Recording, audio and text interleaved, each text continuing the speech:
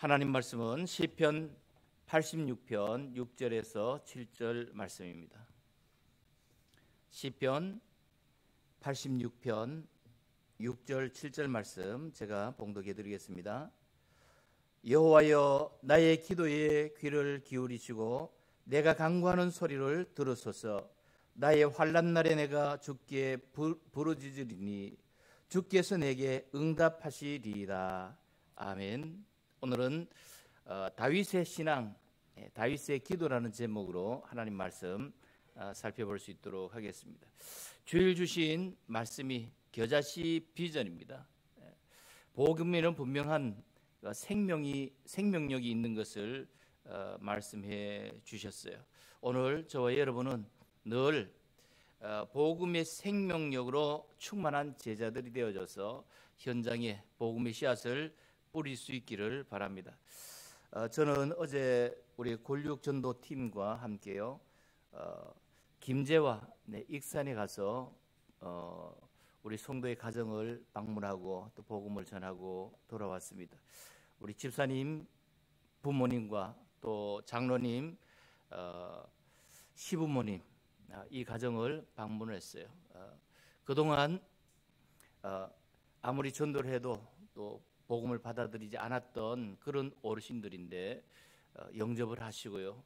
한 가지 감사한 게 그동안 고질적이었던 영적인 문제, 이 제사 지내는 문제 이것을 이제 제사를 지내지 않겠다 이렇게 다짐을 하고 또 같이 어, 기도하고 돌아왔습니다.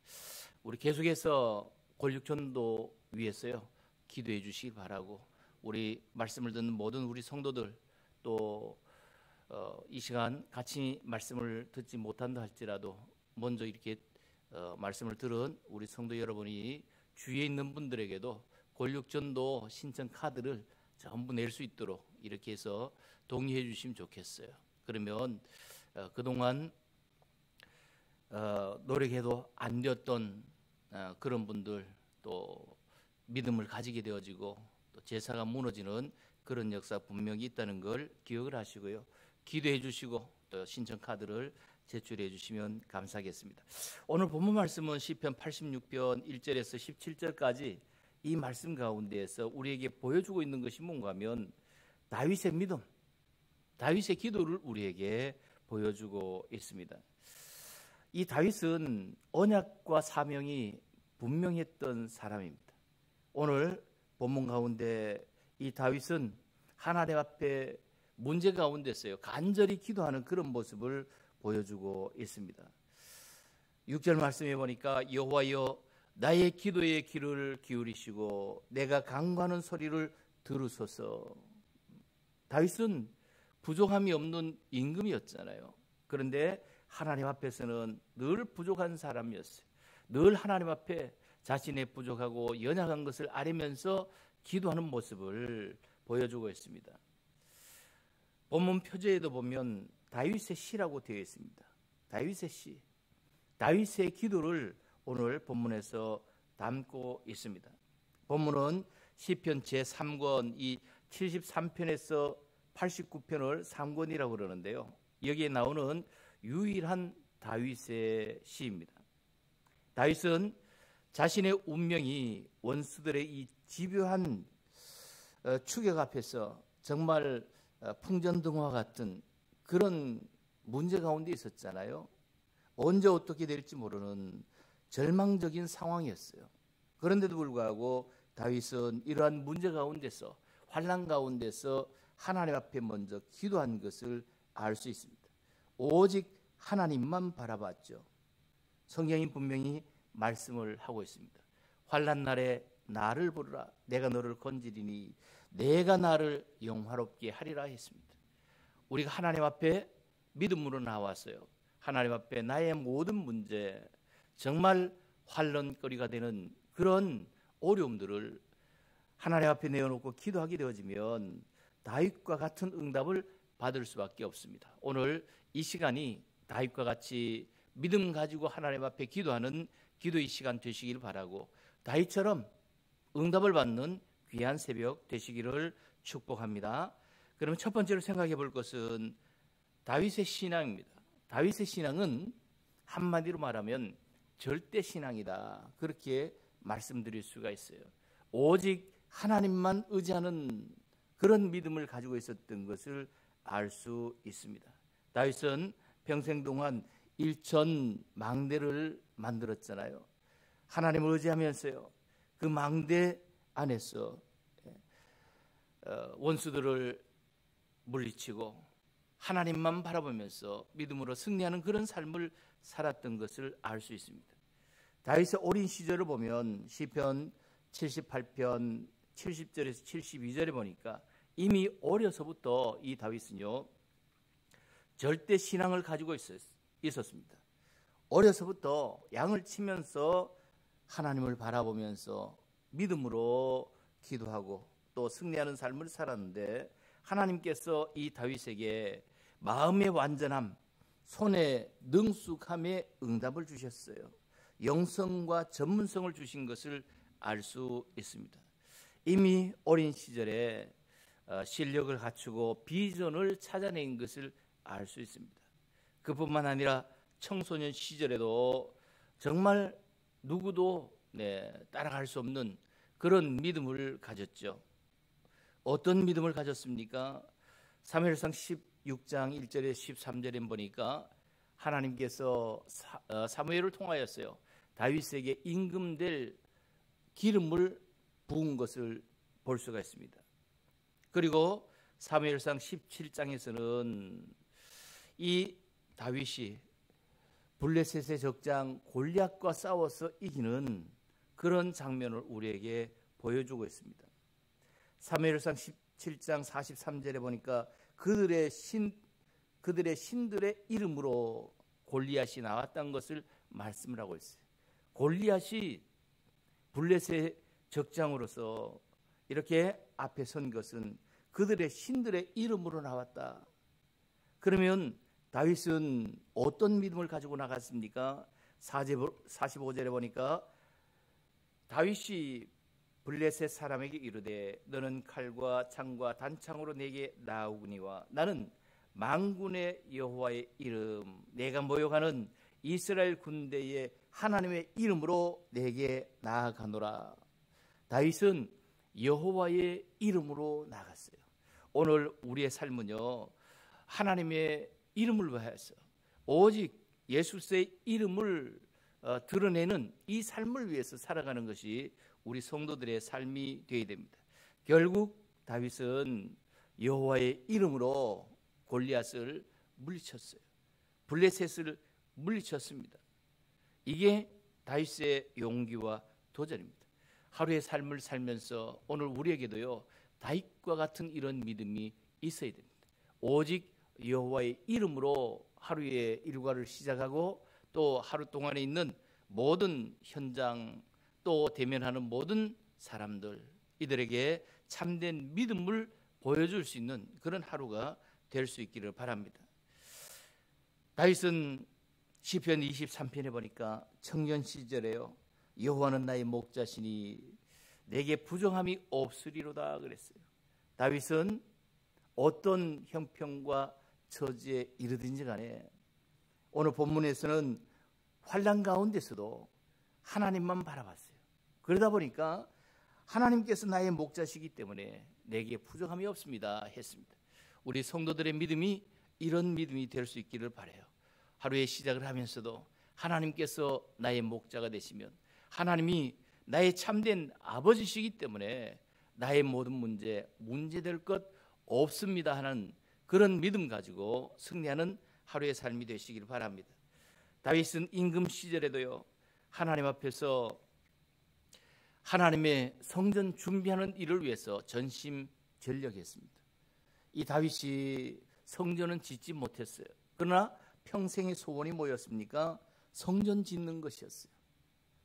어, 이 다윗이 평생 동안 성전 지을 준비를 다 해놓았고 성전 짓는 것은 네, 솔로몬이 지었습니다만 하나님께서 다윗에게 엄청난 성전을 짓고도 남음 있는 그런 물질, 그런 은혜와 복을 주셨어요.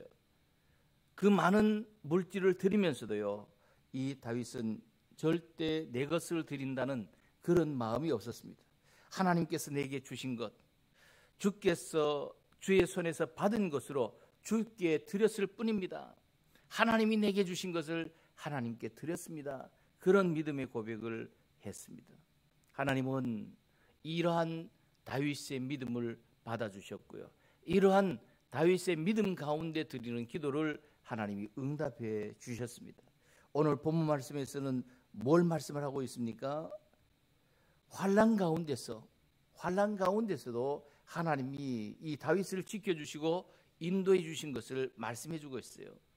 너의 환란 날에 내가 죽게 부르짖으리니 나의 환란 날에 내가 죽게 부르짖으리니 주께서 내게 응답하시리이다. 나의 환란 오늘 저와 여러분에게도요 여러 가지 환란 문제 사건이 시시각각 닥쳐와요. 언제 어떤 일이 일어날지 모르죠. 그렇기 때문에 우리에게는 하나님이 필요한 겁니다.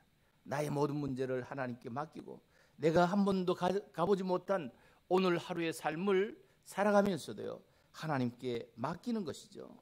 그러면 주께서 내게 응답하시리이다. 다윗에게 응답하셨던 그 하나님이 오늘 이 새벽에도 응답해 주실 줄 믿습니다. 다윗과 같은 믿음 가지고 하나님 앞에 기도하시면서요. 모든 응답 불러오는 여러분들 다 되시기를 축복합니다. 두 번째입니다. 다윗의 기도입니다. 다윗은 절대 믿음을 가지고 하나님 앞에 기도드렸어요. 다윗의 기도를 한마디로 말하면요. 오직의 기도다 말씀드릴 수가 있어요.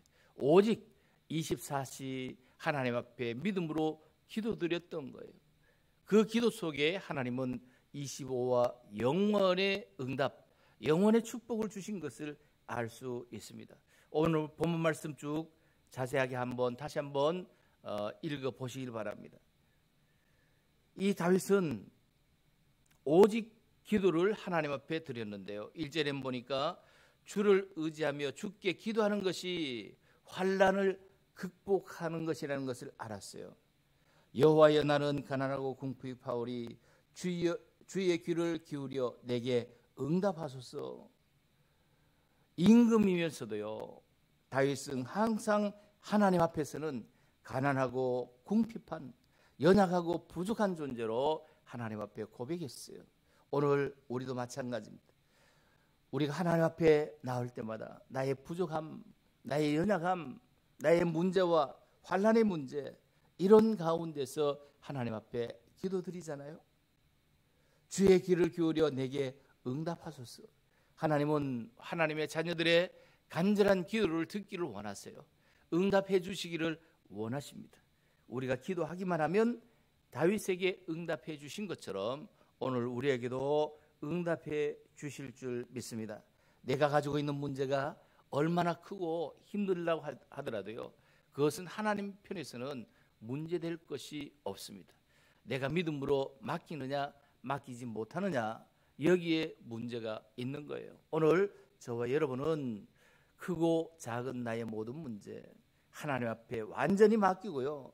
주님 안에서 오늘도 참된 쉼을 누리고 응답을 체험하시기를 바랍니다. 2절에서 3절에 보니까 경건한 자의 영혼을 보호하시는 하나님을 바라봐야 한다는 것을 말해주고 있어요. 나는 경건하오니 내 영혼을 보존하소서. 내 주 하나님이여 주를 의지하는 종을 구원하소서. 주여 내게 은혜를 베푸소서. 내가 종이 를 죽게 부르짖나이다. 다윗의 기도는 24 기도였어요. 종일 하나님 앞에 기도하는 가운데 종일 응답을 받았습니다. 그리고 4절 5절에서 보니까 사죄하기를 즐거워하시는 하나님을 의지해야 된다고 말씀을 했습니다. 주여 내 영혼이 주를 우러러 보니 주여 내 영혼을 기쁘게 하소서 주는 선하사 사죄하기를 즐거워하시며 주께 부르짖는 자에게 인자함이 후하심이니이다. 다윗도 사람이었어요. 하나님 앞에 부족한 게 있었고요. 다윗도 하나님 앞에서 죄를 짓기도 했던 거예요. 그때마다 어떻게 했습니까? 깨닫고 하나님 앞에 무릎을 꿇고 기도했어요. 그때 하나님께서 이 다윗의 죄를 다 용서해 주셨습니다. 오늘 우리도 하루를 살아가면서도요. 하나님 앞에서 생각으로 또 말로 행동으로 잘못을 할 수가 있어요. 우리는 그때 그때마다 다윗처럼 하나님 나의 죄를 용서해 주세요. 나의 부족함을 용서해 주세요. 기도하기만 하면 하나님은 우리의 죄를 예수 그리스도 보혈로 깨끗이 씻어 주시는데 죄가 없는 것처럼 여겨 주시고 우리의 기도를 들어 주신다는 말씀이죠. 7절 말씀을 다시 한번 보면요. 환난 날에 죽게만 간절히 기도해야 된다는 것을 말하고 있습니다. 나의 환난 날에 내가 주께 부르짖으리니 주께서 내게 응답하시리이다.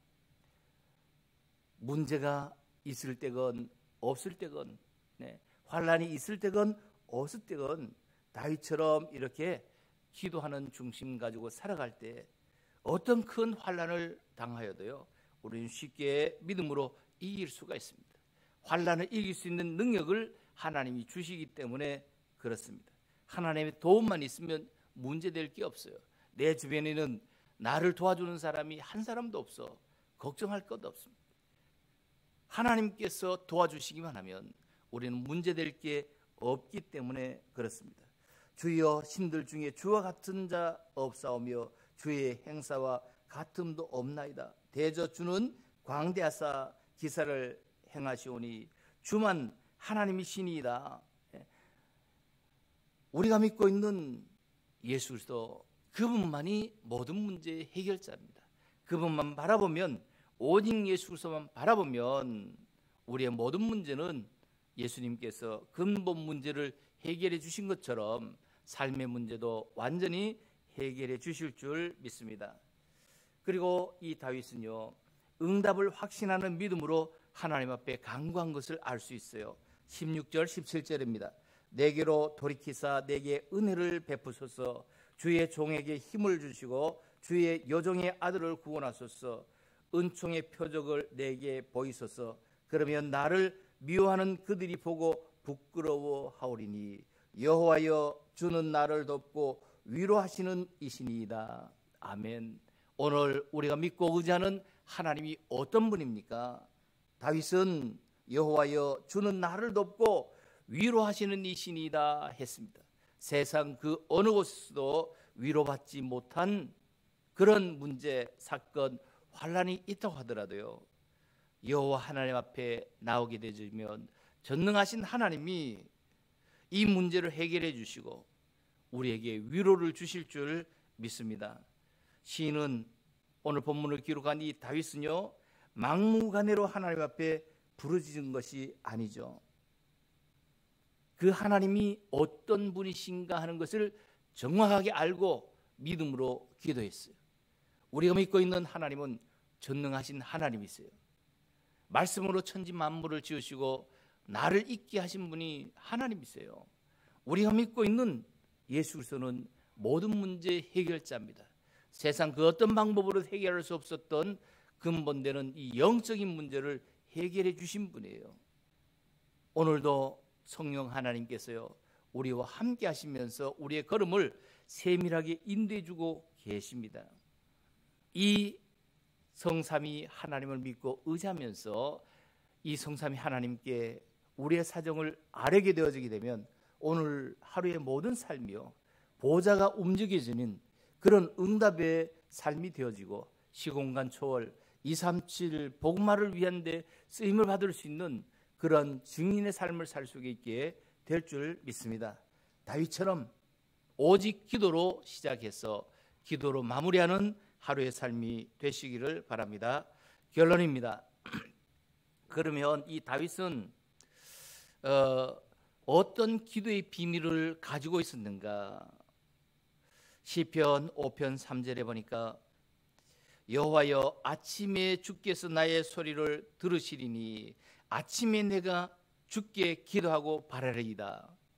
이 다윗은 이런 새벽부터 하나님 앞에 나왔어요. 하나님 앞에 믿음으로 기도하고 있는 것을 보여주고 있어요. 시편 23편에는 여호와는 나의 목자시니 내게 부족함이 없으리로다. 온 종일토록 이렇게 하나님을 바라보면서 현장 가운데서 하나님께서 이렇게 나에게 부족함이 없도록 응답해 주셨구나. 응답을 확인하는 그런 삶을 살았어요. 시편 17편 3절에 보니까 주께서 내 마음을 시험하시고 밤이 내게 밤에 어, 내게 오셔서 나를 감찰하셨으나 흠을 찾지 못하셨사오니 내가 결심하고 입으로 범죄하지 아니하리이다. 예. 아침, 낮, 밤 하루 종일 이 다윗은 하나님 앞에 기도한 것을 알 수 있어요. 하루 종일 다윗은요 응답 속에 있었던 것을 확인할 수가 있습니다. 오늘 시편 86편을 다시 한번 마음속에 새기시면서 다윗이 가진 신앙, 다윗이 가진 믿음, 다윗이 하나님 앞에 믿음으로 기도하고 응답받은 것 바라보면서 오늘 저와 여러분도 다윗과 같은 믿음의 사람, 다윗과 같은 기도 응답의 사람이 되시기를 예수의 이름으로 축복합니다.